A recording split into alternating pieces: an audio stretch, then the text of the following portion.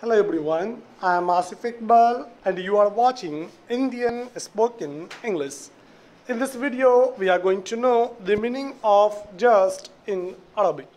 The meaning of just in Arabic is fakat. Fakat. The meaning of just in Arabic is fakat. Thanks for watching my video and don't forget to subscribe my channel for watching more videos.